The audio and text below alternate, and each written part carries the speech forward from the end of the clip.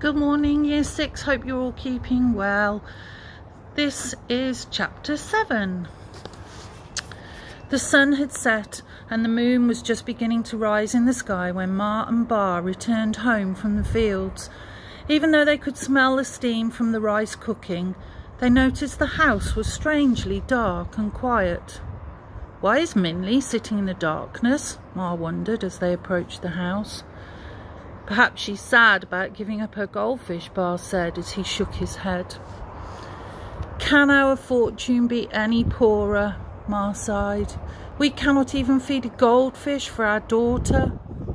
But as Minli's parents entered the house and read her note, Ma made the noise like a shrieking cat. I spoke too soon, Ma cried. Our fortune is now the worst, for our only daughter is gone.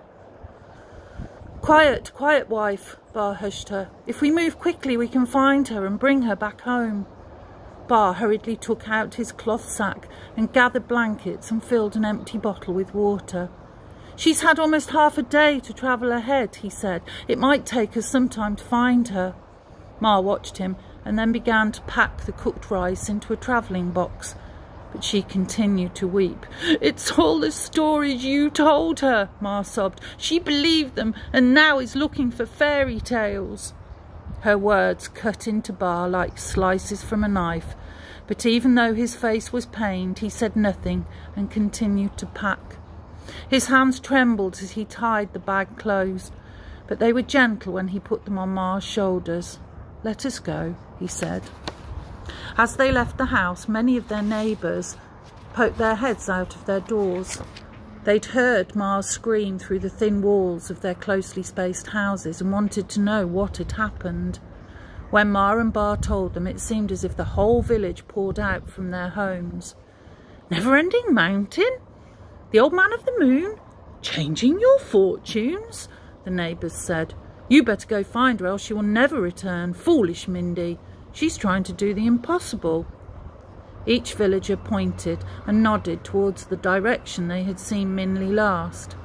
Some had seen her heading home, others toward the rice fields. But finally, a small boy was heard. Minli left towards Fruitless Mountain, he said. I saw her with her pack. She went that way. So, with the villagers waving them goodbye, Ma and Ba walked towards Fruitless Mountain, their dark shadows trailing behind them in the moonlight. But when they reached the mountain, they looked at each other uncertainly.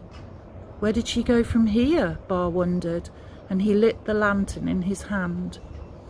The soft light seemed to warm the air and soften the growing darkness. Here!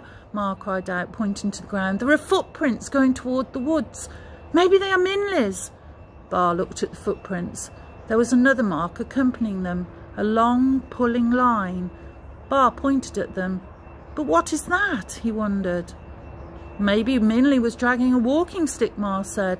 The footprints could be hers. Ba looked again at the footprints. They seemed small and nimble. Perhaps they are, Ba said. Let's follow them. And so they did.